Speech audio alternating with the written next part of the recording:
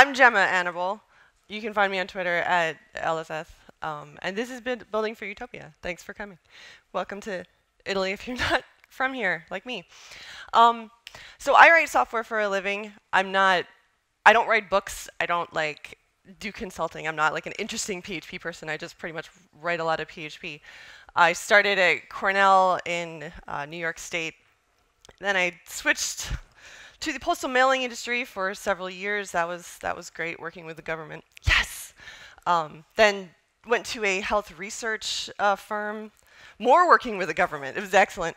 And now I work for a Canadian startup called WonderProxy. If you're interested in uh, localization testing, see me at some point. I can talk to you.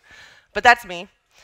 Um, a year ago, my husband, who's here, um, got a job in Norway. So I'm an, I'm an American. I'm born and raised in upstate New York. He got a job in Norway, and we were like, okay, I'm a software engineer. I can work from anywhere. Let's go to Norway. And here's what that looks like. Um, so I used to live in New Mexico in the States, which is southwestern United States. It's cowboy country. And now we live in essentially a, a very cold rainforest. So it's, it's really uh, very new. Every, everything about it is new. Um, the language is new. I don't speak Norwegian. I don't speak it. This is a great joke. If you're if you're if you speak three languages, you're trilingual, and if you speak two languages, you're bilingual. What are you if you speak one language? American. Um, that's me. I, I don't speak the language. Um, we don't have a car anymore. It's, it's very expensive to own a car in Norway, and there's great public transportation, so we're taking the train everywhere. This is, this is all just very new. The daylight hours are bizarre. The, the latitude of, of Norway is roughly the same as Anchorage, Alaska. So it starts getting um, bright in the morning at around 3.30, 4, and it's not noticeably dark until like 11, 11.30. Like it's, that's, that's crazy. We also have a new stove. It's, it's great. It's an electric stove. Um, everything in Norway is electric, not gas. So, you know, that was sad for me, but that's, that's all right. Um, so keep, keep the stove in mind, which I'll, I'll keep the picture up there so you'll remember.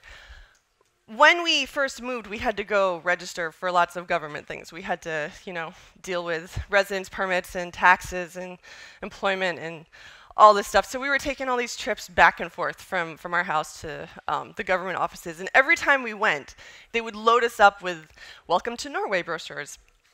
Um, so we had like a stack of them. Like just every time we went, here, have some more, please. And one of them, my husband and I laughed about hysterically because they had an entire brochure on turning the importance of turning off the stove. They had a whole brochure on this, and we were like, "Is there some sort of problem with the electrical grid? Like, it, it was it was all about turning off the stove at night, specifically at night. So we thought maybe there's like weird fluctuation. Like, I don't I don't know. It's a foreign country. Maybe they maybe they have weird power grid problems. I don't know. It turns out that in Norway, the vast majority of stove fires happen at night because people come home from a night out, possibly not completely sober, make themselves a snack and go to bed leave the stove on, burn their houses down.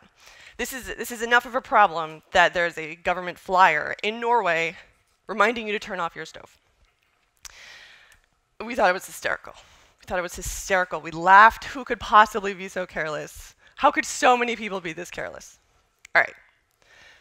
So we'd been in Norway about a month when my husband took off. He went on, you know, some Spanish adventure doing something or other. I don't know. I was stuck in Norway where it was cold and rainy, and he was like on the coast of Spain. I'm not bitter. It's fine. Um, so I have I have two dogs, and I was home with my dogs um, for like three weeks by myself when we had just moved, and I lasted about a week before I left the stove on overnight. Um, I was probably, I don't even remember, I was like playing video games or something late at night and I decided I was hungry, made myself some eggs, and went to bed and left the stove on. Fortunately, I removed the pan from the warm stove. I don't know how I got that far and didn't turn off the stove, but whatever.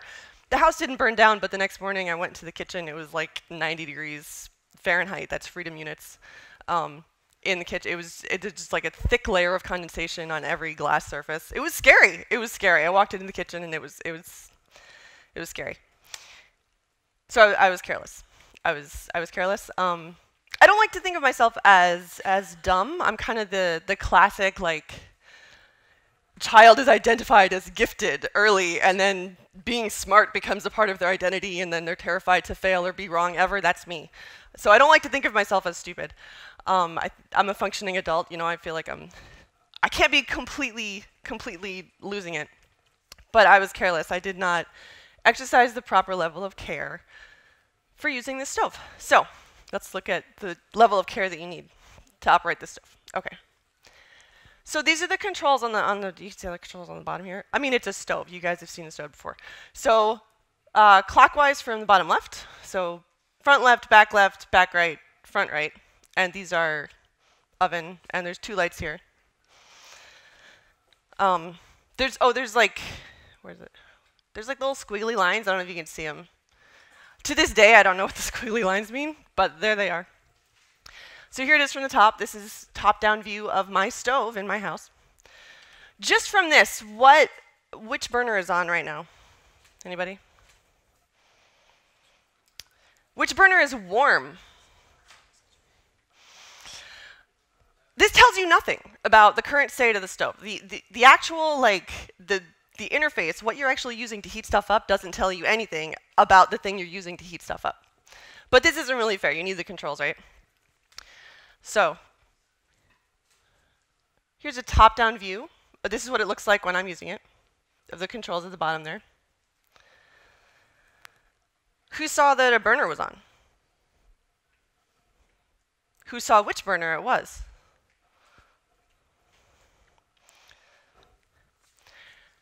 This burner is not actually on right here. That, that's off. The broiler's on. And that's why this light is red, because the boiler's on there. That's kind of not fair, because I like I did like halfway, so it looks like it's on. Let's do another one. Controls at the bottom here. Red light's on. Who saw the oven was on? you know I'm trying to trick you. So the oven's not actually on. It, it's got like temperature, but this is off. Uh, where's it? This is on, right here. Back right burner. This, this stove is built for utopia. This stove is built for people who are never rushing, who are never careless, who always take time when they're using a stove. They always double check, triple check the controls to make sure that the correct burner is on or off, the oven is on or off. This is, this is a stove for people who never make mistakes with, with what they're looking at, who never see the wrong thing or misinterpret. Um, it's for perfect people. That's, that's who this stove is for. Stovetops aren't the only everyday object uh, that were sort of built for utopian people. Doors are some of my favorite, and my friends and family will tell you that, like, whenever I see a door like this, I just had, there's like a wave of rage that goes over me. So the controls here, these are the controls for the door. They're door handles, right? You guys have seen doors before. They're exactly the same. In both cases, you need the signs to tell you what to do with the door because the controls lie to you. It's just, it's just mind blowing. It's just you have to read the sign. So okay, these are the stovetop and the door. These are classic examples of what I call user interface bugs. Um, user interfaces that lie to the user or mislead the user or don't give the user enough information to use the interface. Um, and they're, you know, they're, they're all user interface problems, th these two. And if you want to read more about that, there's this great book called The Design of Everyday Things. Has anybody read that? It was 1988, but it's classic. It's been updated. Um, if you're interested in this stuff, fantastic book on the topic. Um, but user interfaces uh, or the tendency to build for utopia doesn't exist only in physical objects like stoves and doors. Um, and it's not always a user interface bug. Anytime we have a system or a process that involves human beings, we're going to try to build for utopia because we want we want to think about the best case. Um, and we need to not because every process and every system involves human beings at some level. Um, and none of us are perfect. So, is anybody here a really hardcore fan of like command line git? Yeah, a couple people, a couple people. Okay, I love command line git. I think it's great. It's infamously bad and hard to use. Um, and I, you will get no argument from me on that. But there's so much power, it's, it's really fun. So this is, this right here, this little add upstream, is sort of a lesser known Git thing where you can, it's like a shortcut for the upstream branch of whatever this is. So like in this case, master is your master branch on your computer or in your local repository. Um, and at upstream tells it, oh no, I'm actually looking at the master branch in the uh, remote repository. It's a little, it's a little shortcut. It's really cool. And you can actually make it shorter by, like, you don't even have to type the whole word upstream. You can just type U. And you can even make it shorter than that. I forgot to put this on the slide, but you can like remove this completely and it'll use whatever your current branch is. So you can do like git show at curly brace u curly brace and it'll give you, you know, your the upstream of your current whatever your current branch is. It's really cool. It's handy. I use it all the time. And when I say I use it all the time, what I mean is I do this a lot. It's case sensitive. it has to be a lowercase u, um, or it had to be lowercase u. So what I would do constantly is curly brace, which I have, I have to hold on shift, right, for the curly brace, and then u, and I wouldn't take my pinky finger off the shift key fast enough so the u would be capital, and then I would be annoyed, so I would backspace twice, even though I only needed to do it once. And then again, curly brace very carefully, lowercase u, curly brace. This is an expert interface. this is this is an interface that's that's built for Utopia. You can't make mistakes when you're using uh, the Git command line.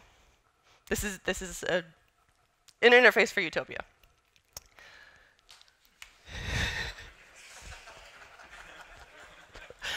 I don't even need to read my notes for this slide. You guys know where I'm going. So like a year ago, almost almost exactly a year ago, um, Stack Overflow published a blog post that was called something like helping a million developers exit Vim. It's exiting Vim is like a sysadmin rite of passage or like a Linux user rite of passage. You're gonna get you're gonna get thrown into Vim at some point because it's the default on so many systems. You're gonna need to edit some file. You're gonna end up in Vim. And you start typing and like like you don't see any of your keystrokes until like you get an empty line for some reason, and then all of a sudden something from up here copies down here.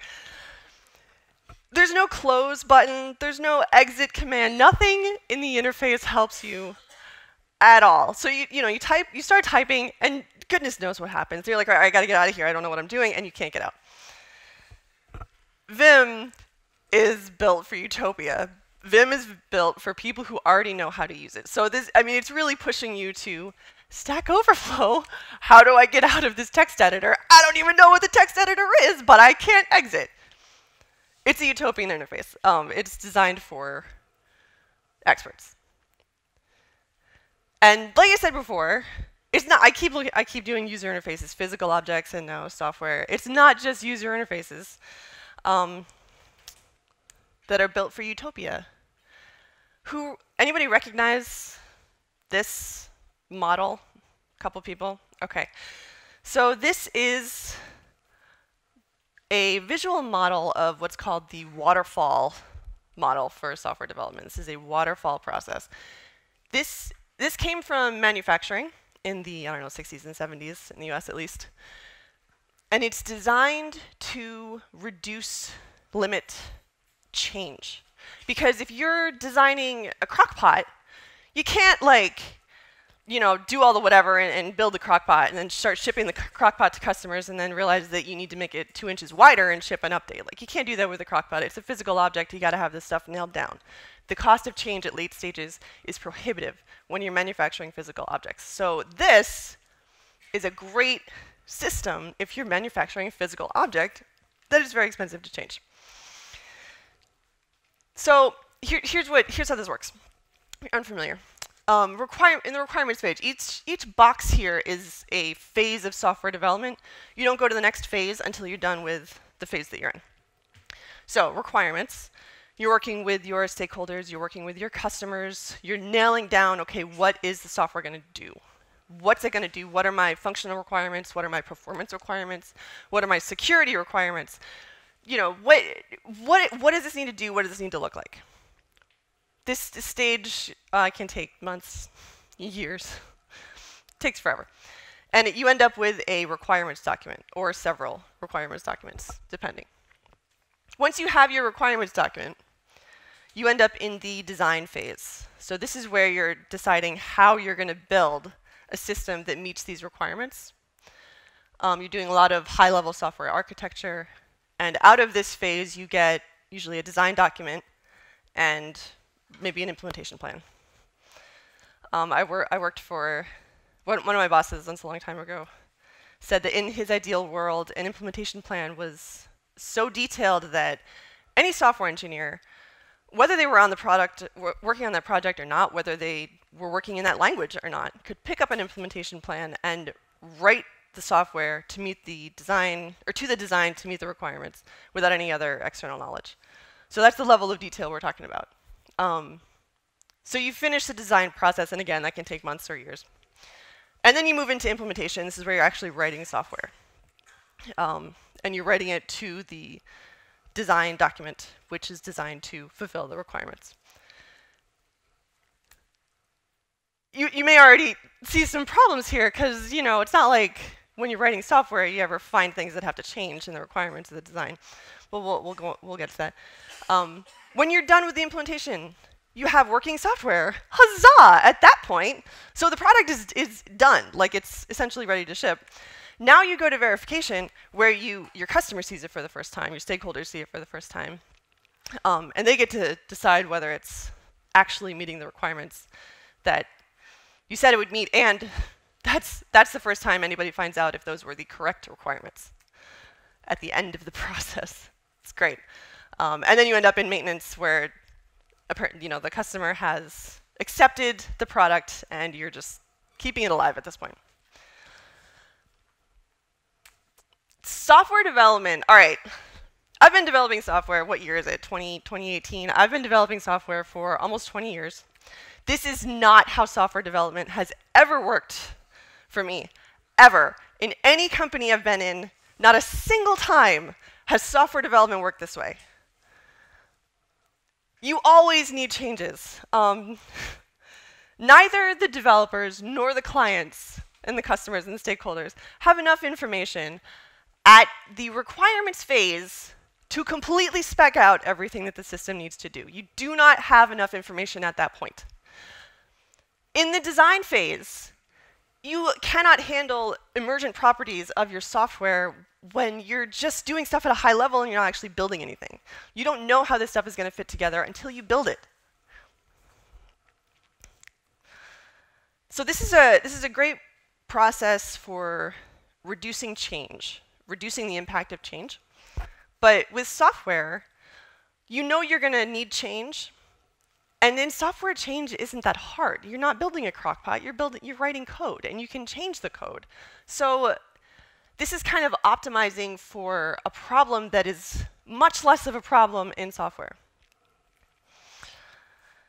It's when this is applied to software, it's software development for utopia. It's software development for teams that do know all the information up front, who can deal with emergent properties that they don't know exist in the design phase, um, who know that they're building the right thing, not just building the, the thing right, so that when they give it to their customers, their customers say, yep, this is perfect. This is, this is a software model for utopia, for perfect teams, projects, companies. That's what this is.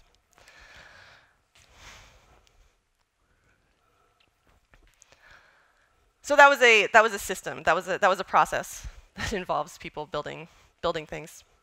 Actually writing code is also easy to fall into this let's build software for utopia. Let's have expectations of, of people that assume that they're perfect. Um, several years ago, I worked for a company that had no automated tests at all. They had no tests. They, like they didn't have unit tests at all. All of the testing was by the QA department, and the QA department was pretty solid. Like they were, it was big, and they they did really good work. But there were no automated tests at all. And this was when like automated testing and TDD, like all this stuff, it was very edgy. It was kind of like, oh, those you know those elites in Silicon Valley are doing that, but uh, in upstate New York, that's not how stuff works here. We do things differently. And I did some research. I, I read a bunch of papers. Um, there's a really famous Microsoft IBM collaboration that uh, talked a lot about how unit testing and TDD can improve the quality of your software. It's really interesting. Um, I did all this research and I was like, this, this practice seems to actually work. This seems to actually increase code quality, reduce defects. Maybe we should maybe we should look at incorporating this into the software we're writing. And this was, you know, this was around like 2007, 2008. And I still remember the look of confusion on the head of my department's face when I when I was telling him about this, and he said, "But Gemma, you don't you don't need to write tests. Just write correct code." Just write correct code, guys. Just write correct code. Never write, never write an if condition that's accidentally backwards, because I've never done that. Anybody else never done that? Yeah, okay. Never, never write a typo, never forget a semicolon, never forget a comma, never forget literally any of the, like, writing code itself is a utopian process. If there's a single character out of place, everything breaks. So let's not make that harder. it's already hard enough. Never forget edge cases, never when you're refactoring just write, write correct code. And I hear, I often hear similar comments about um, code comments, and I know this is a very, this is a very divisive issue in software engineering. People who think that your code should be clear enough that you don't need comments. If you need comments in your code, your code is, is bad. Your code should be self-documenting. And on one hand, I, I agree that readability, sorry, readability is very important. We spend a lot more time reading code than writing it, absolutely. We should be able to read code, and it should be clear. But at the same time, it takes a certain amount of hubris to assume that the code you're writing is so clear and so elegant that anyone of any experience level who might be reading your code later can understand it without comments can, can see your intention without comments, can understand exactly what's happening and what the implications are without any comments. We're not, we're not perfect. We're not all going to get it. Even if your code is that clear and it is that elegant, you know what? Sometimes I'm just not that bright and I'm just not going to get it. So would you throw in a couple of comments? Because I'm not perfect. So how do we how do we stop doing this? how, how do we try to build software for people who fail and people who are not perfect and people who are not utopian? So using it yourself is a big part of this, um, eating your own dog food. I mentioned that the, the git uh, upstream shortcut, and it was case sensitive, so I had to like backspace and do a capital U. That actually changed in version 2.13 of Git somebody, one of the, it was one of the Git developers, he decided that it was, it was, it was too annoying. It was too annoying. He was constantly typing a, ca a uh, capital letter when he meant to type a lowercase letter. So he just made the system accept both. He made it case insensitive. He was scratching his own itch. He was using his software himself, and he found a user interface problem that assumed everybody was perfect, that assumed everybody would make, make no mistakes. And because he made mistakes, he improved the software to make it more tolerant of that particular fault. So that's, a, that's, a, that's one way to do it. Um, another way is to get really aggressive about feedback. One of the things, so if you're, if you're like the tech person in your family or in your circle of friends, I often find myself in that role. Um, and it's always, it's always amazing to me if, if somebody's having a problem and they say, hey, Gemma, can you fix my computer? And they, you know, they explain their problem. And in the course of explaining their problem, I realized that what the problem that they're having that they think they need me to fix is actually a symptom of a much larger problem that they're having that they don't even realize is a problem. They just think it's normal. They just think it's supposed to work this way. And it's really awkward and unpleasant and not not easy, not semantic, not ergonomic, none of that. It's just that's just how the software works and they think it's normal. Get serious about feedback with your users and ask them to tell you about their experience of using your software. Ask them to tell you how it makes them feel. I know, I know we don't like to talk about feelings in tech because tech is all about science and math and it's all rational and logical. But when you're building software, using software makes you feel things if it's annoying. You feel angry, you feel frustrated. Or if it's really fun to use, you're like, wow, that was really easy, that's great, you feel happy. Get them to talk about their feelings, get them to like describe their workflow using your software, even if they don't think it's broken, even if they think there's no problem. There might be, and they might not realize it, and you can improve it for them. Call a professional for the love of Pete. There are experts. There are people who are trained in user interface design. Um, there are consultants who do this for a living.